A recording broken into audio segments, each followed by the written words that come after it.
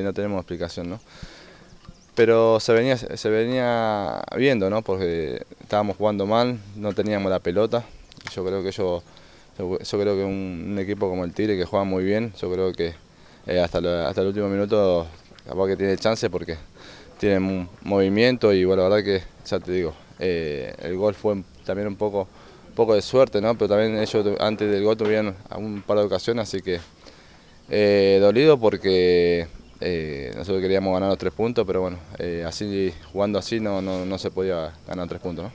El partido fue el domingo. El empate sobre la hora del Tigre sobre Oriente aún sigue calando hondo en las entrañas albiverdes. Sin explicación, confundidos y meditando, así se encuentra ese momento el camerino, ya que futbolísticamente de local no la están pasando bien.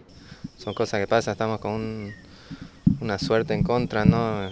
Pero pero bueno, hay que, hay que tratar de asegurarlo a pesar de, esas cosas que pasan y, bueno, hay, que hacerlo antes ¿no? de, que, de que terminen los 90 minutos. El miércoles por la noche enfrentarán a Real Potosí, un reducto del cual no tienen buenos recuerdos, tomando en cuenta el último empate sobre la hora también del equipo de Nacional. Sí, sí, sí, se viene un partido complicado, pero estamos estamos decididos a, ganar los tres puntos, ¿no? Eso creo que tenemos que eh, sumar de, visitantes los puntos que perdimos local y bueno, la verdad que eh, perdimos todo esto, bueno, empatando estos dos partidos que empatamos, perdimos cuatro puntos que podíamos estar ahí cuarto, en cuarto lugar, pero bueno, ahora que pensar en Potosí después del Clásico.